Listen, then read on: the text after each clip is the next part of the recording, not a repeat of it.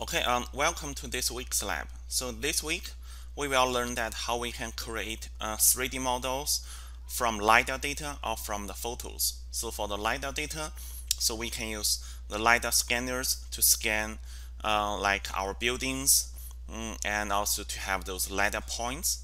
And for the photos, and we can just use our uh, cell phones to take photos around some object that we are interested and then we can use different uh, software to create 3D models. So those 3D models can be uh, printed by using 3D printers, or we can also create virtual reality scenes by using those 3D models. Okay, so first, so if you don't have the LiDAR points or don't have the photos, so you can just download um, this PLY file. So that is a LiDAR uh, data so if you look at the raw data, you can see those are the LiDAR data. So those have X, Y, Z. So those are the relative distance between the object and also the sensor. And also this is the strength. So this LiDAR data was collected with a very uh, inexpensive LiDAR scanner. So it is not a professional one.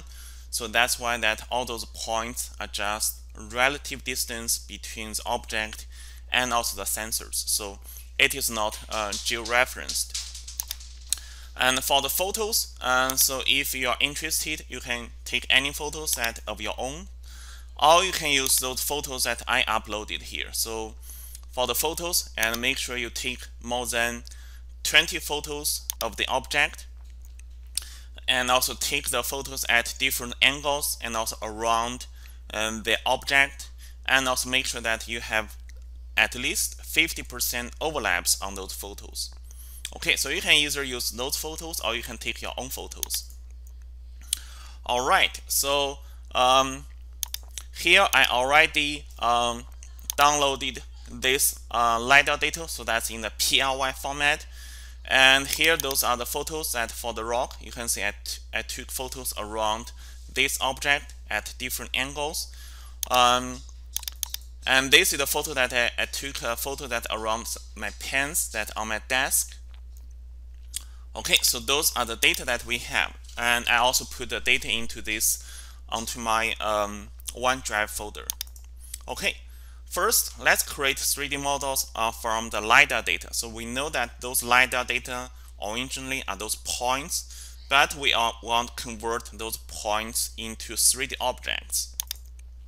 So the tool that we are going to use, the first one is called MeshLab. So that is a free software that can create 3D models from those LiDAR points. So we will use uh, MeshLab to convert points into 3D models. The second tool is called uh, Mesh Mixer. So that is also a free tool that is from Autodesk that allow us to modify those 3D models. So, so make sure that we have those two um, software that installed and also download uh, downloaded and also installed. Okay, uh, so I'm going to start uh, MeshLab first.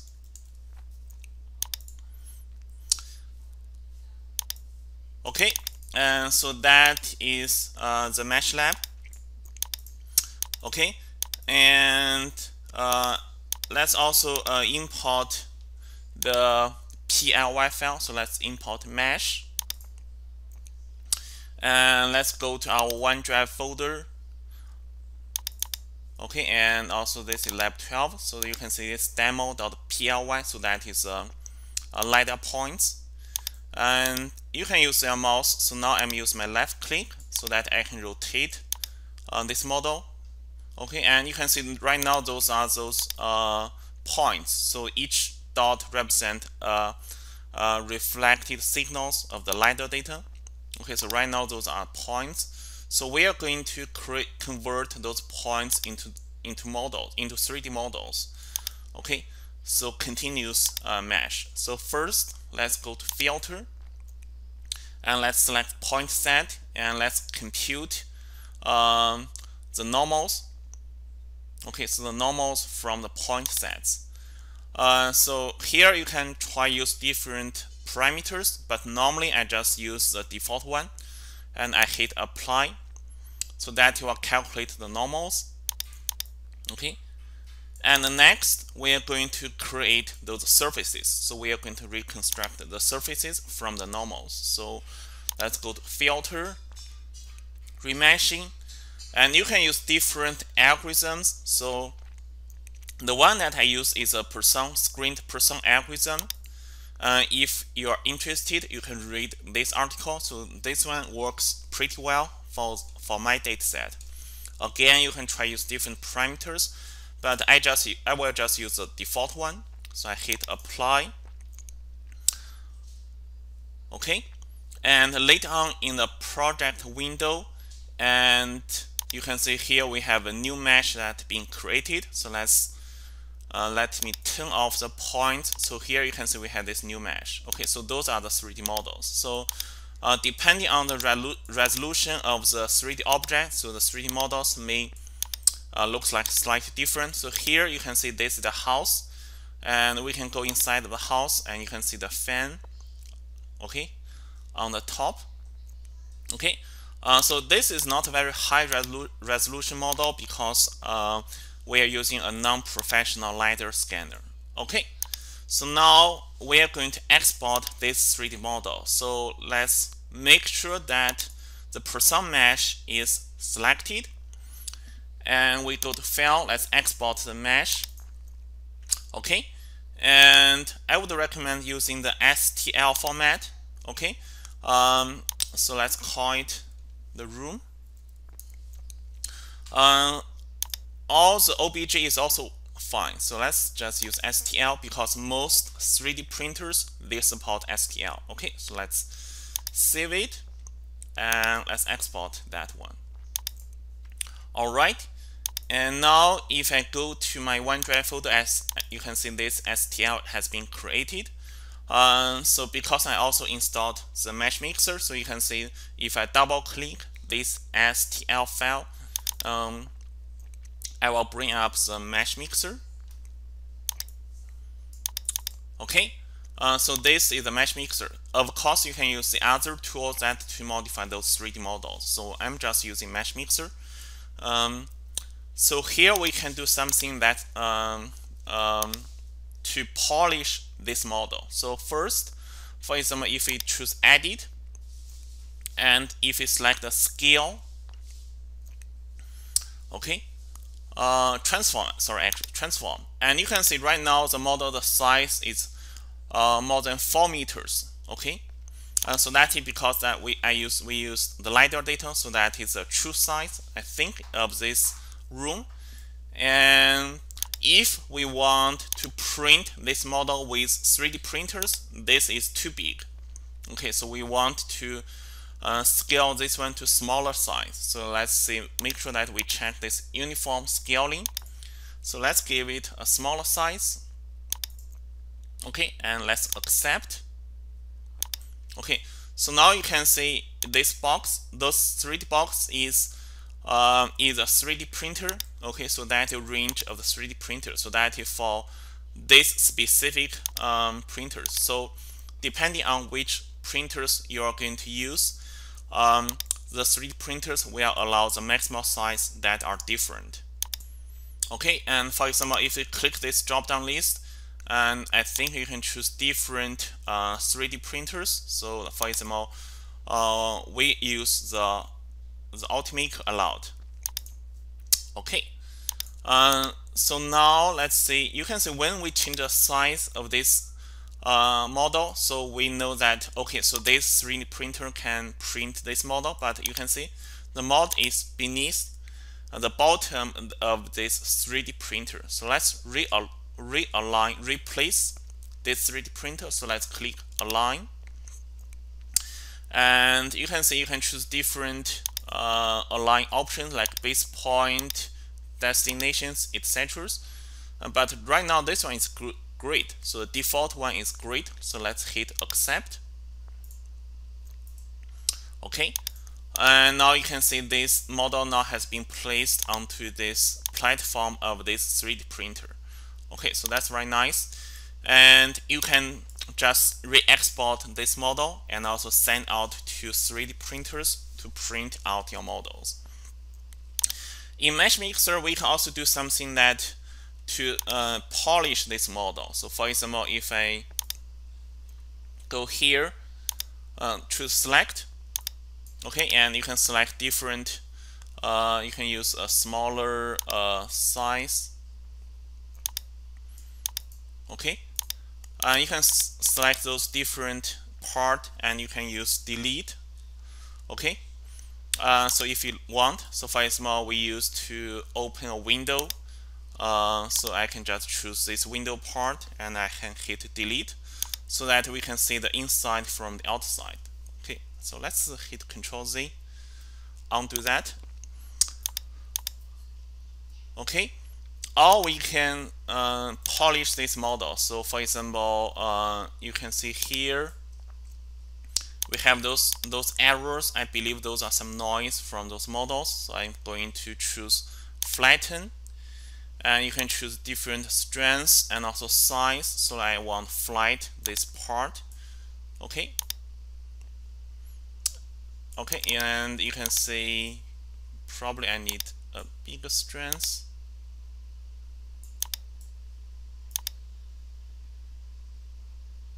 Okay and probably a bigger size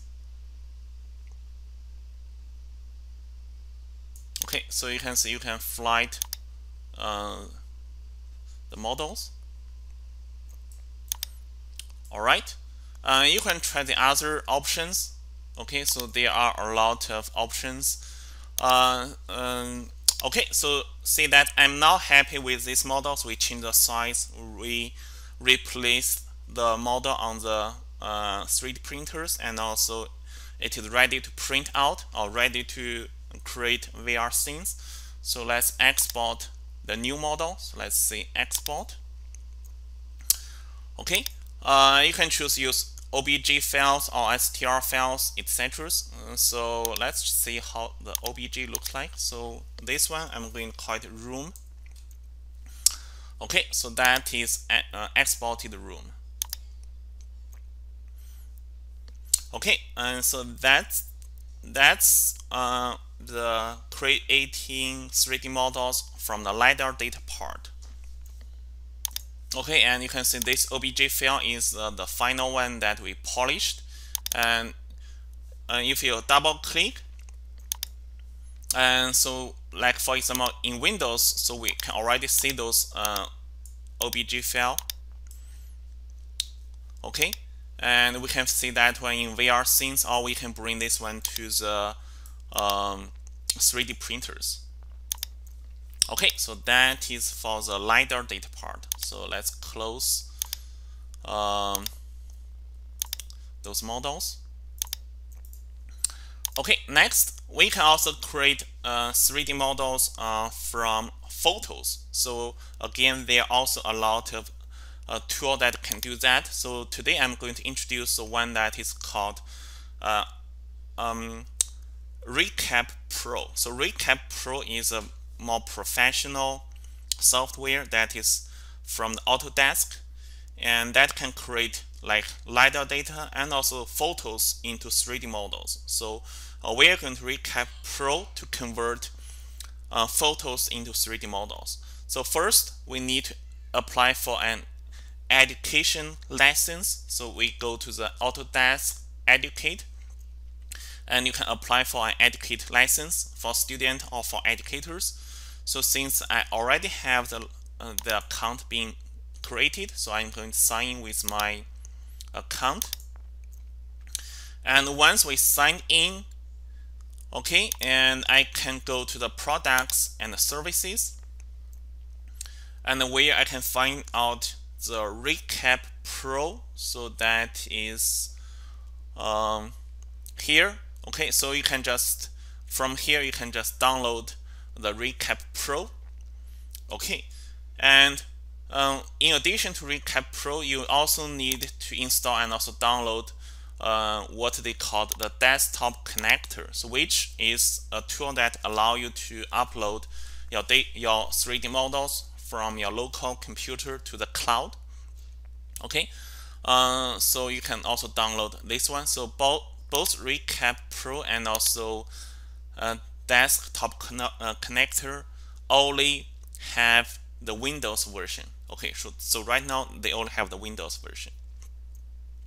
Okay, so once you have those uh, downloaded and also installed, so we can now start the Recap Pro.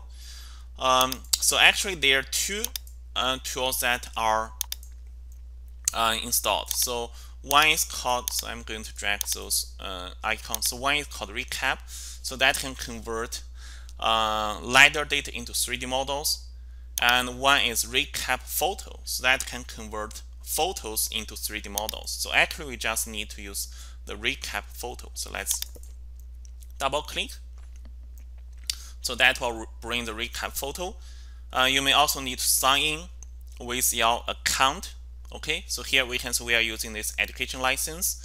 And make sure you sign in with the same account that you created. And you can see those are the models that I created earlier. So here I'm going to create an object from those uh, photos. You can also upload photos that if you took from the drones but here I just upload the photos that I took by using cell phones. Okay and let's add photos. So I'm going to go to my OneDrive folder. Okay. Uh, so uh, if you are using the photo that from GitHub so you can choose either pens photo or the rock photo. So here I'm going to choose the pens. Okay.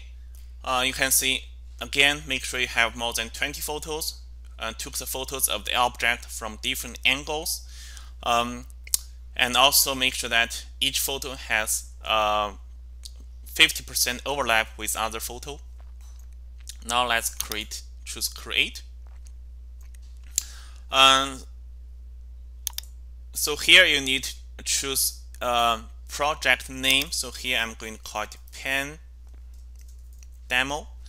And I would just check auto crop and also you need to choose the cloud destination folder. Okay? Uh, so here it pop up uh, from this uh, desktop connector. So here I choose my data and I choose my pen folder. Okay? And now let's hit start. Okay? Uh, so now you can see um, they are going to upload um, the photo to the cloud first. Uh, and also make sure that uh, you also need to make sure that your Autodesk desktop connector is also uh, started. Otherwise, you may see an error that the they cannot find out the desktop connector. So the uploading file is very fast. So here you can also try another one. So go to Object, so here, let's say I want to upload the rocks. Okay, so you can upload multiple projects. Uh, for this one, I will call it rock demo. And you can choose the destination folder. Okay, so I choose my rock folder, which I created earlier. All right, so now you can see I'm going now I'm uploading the rock photos as well. Okay so the pen photos um, the uploading is almost done. Okay again those are the previous um, models that I uploaded. Okay uh, so once those models are uploaded so we have to be very very patient.